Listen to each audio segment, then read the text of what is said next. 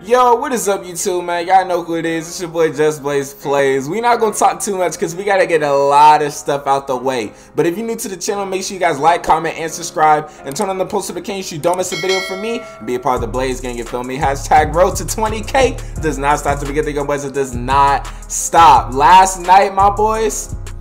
Last night was a very interesting night for all my homies in the 2K community. Still, Mike Wang gave us a bunch of news about NBA 2K22. Yes, you heard it here first. The game that has been taking the longest for us to hear news from, we haven't heard anything. They finally dropped some news. I'm to get to everything Mike Wang said on Twitter last night. And this is around like 2 or 3 o'clock in the morning where he just announced the news. They dropped the 2K TV episode, and Mike Wang was basically throwing some hints and explaining what 2K22 is going to be like. Not all the way, but he gave us a little bit of hints on the game. Now, one tweet that Mike Wang put out, and this is honestly a very good tweet, and honestly, it answers our questions about the season. Yes, if you didn't know already, seasons are coming out for NBA 2K22. So Mike Wang tweets, new seasonal animation content drops are for my players only not NBA players. The goal is to keep the game fresh all year long and encourage players to use signature moves that they otherwise may not have. Don't worry,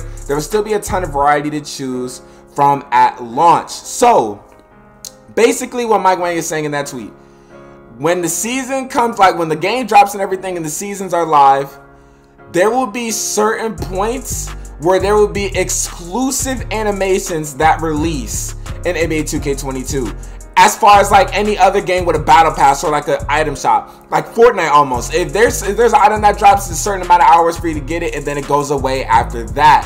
For 2k that is a w idea in my opinion. It keeps the game fresh. It gives us something new to work with. Honestly it, and it's not going to be the same thing every time so that everyone's going to be playing the same. 2k that was a w idea right there. That was a w idea i i enjoy that idea.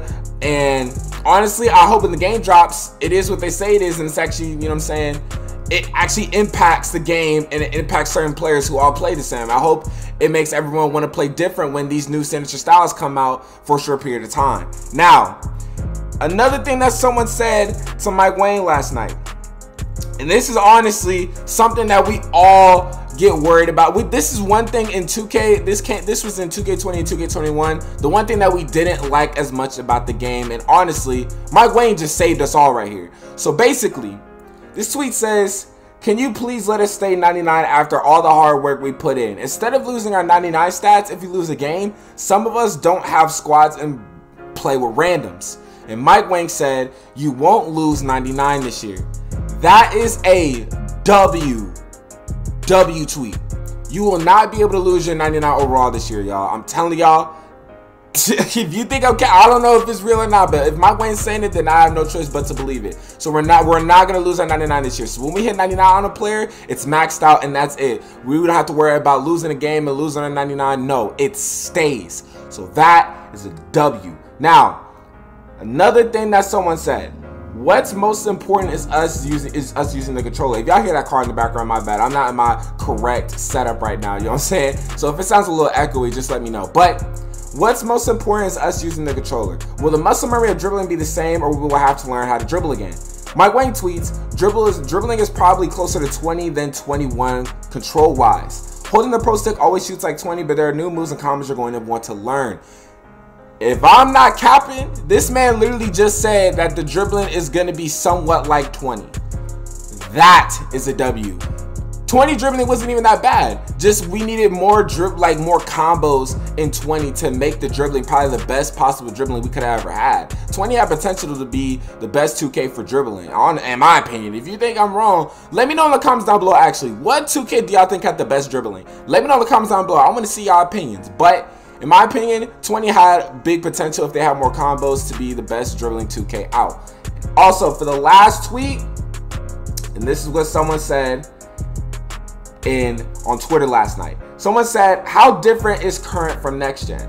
Mike Wang says, "Current and next gen are much more similar on court this year compared to last year." So, in all honesty, there's not going to be very much differences with both games. gameplay, from what it looks like in that tweet, gameplay will be the same. And I don't know if that's a W or L, but we're just going to have to find out in the future. If you guys want to hear more news about what Mike Wang talked about on Twitter last night, let me know in the comments down below and leave a like on this video. I know this is kind of short, but I had to get the important stuff out the way just so you guys can know. And also, shot aiming is not going to be in 22. For all them Zans, you're done. But that's the end of the video. Make sure you guys like, comment, subscribe, and turn on the post notice so you don't miss a video from me, my boys. Just Blaze Plays. Y'all know what I'm about to say, man. I'm out. Deuces.